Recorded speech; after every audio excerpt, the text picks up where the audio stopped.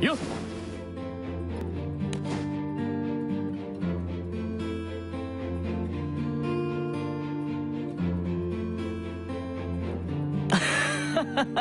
驚いたか？いや何？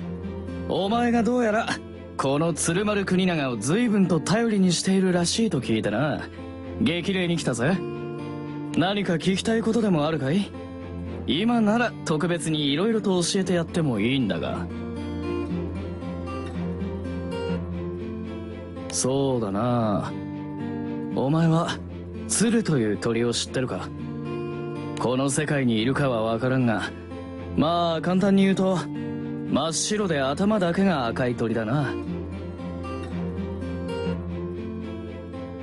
つまりな鶴丸国長って刀は戦場で血で赤く染まってこそその名の通り鶴らしくなるんだ。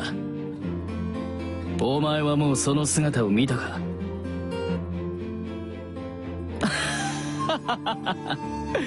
冗談さ。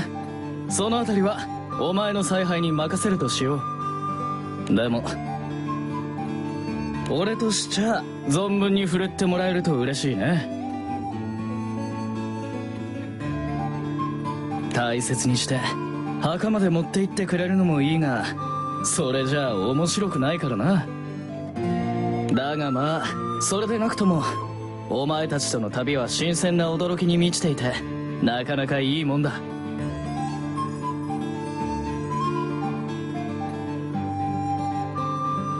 随分と長いことあちこち転々としていろいろな経験をしてきたが まさか空飛ぶ船で旅することになろうとはな。この調子でこれからも俺を驚かせてくれ。期待してるぜ。